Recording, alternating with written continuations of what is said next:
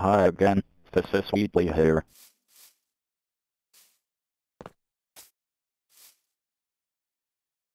And today again I want to talk about the Portal Companion Collection. And today again I want to talk about the Portal Companion Collection.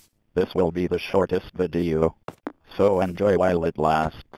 Anyways, do you think that Portal and Portal 2 will run at all on the Switch Lite? I say yes and no.